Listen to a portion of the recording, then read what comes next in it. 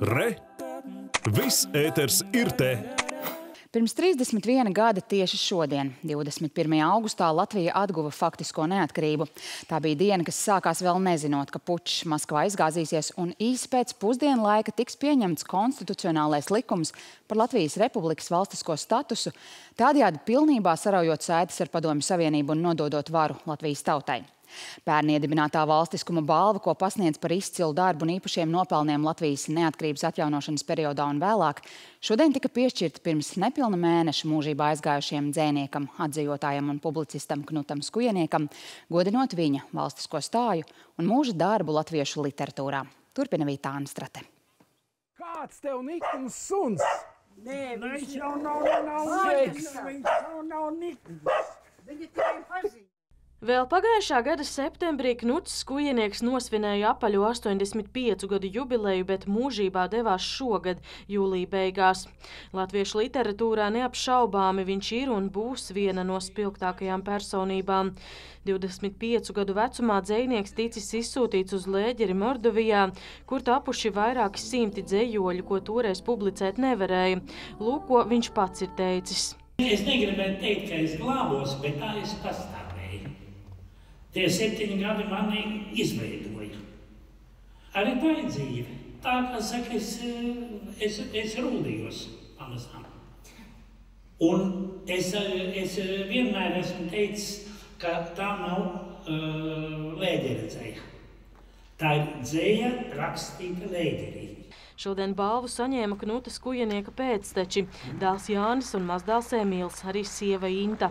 Viņa atklāja, ka vīrs zinājis par gaidāmo apbalvojumu, taču nesagaidīja to. Viņš jau arī bija priecīgs, viņam nu, ar to veselību bija kā bija, bet nu, viņš teica, un mēģina sadūšoties un tomēr ierasties.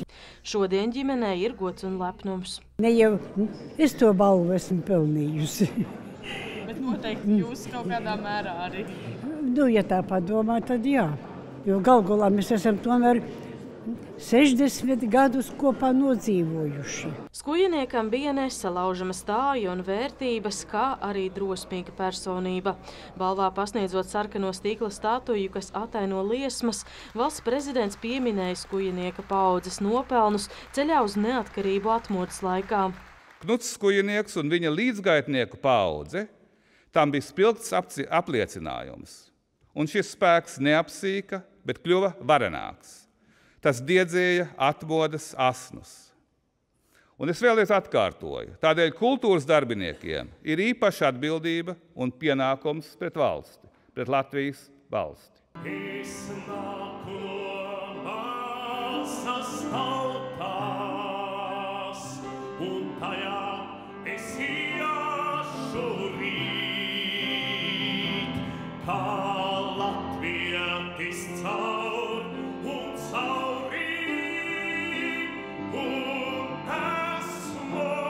Dziesmas ar Knuta Skujinieka dzējas vārdiem šodien izpilda Dalmans Kalniņš, kas sakomponējis mūziku viņa dzējai.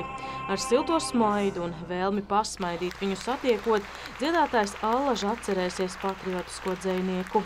Un tieši tas ir tas, kas man liekas, mums šajā laikā ir tik ļoti vajadzīgs. Spēcīgs kodols, labestība un gaišums. Un tas viss bija knutā. un Es, man ir liels gods, jā, ka es varēju dziedāt šīs dziesmas ar, ar viņa vārdiem. Dzējos ir jāraksta ar visu personību, ar visu sevi.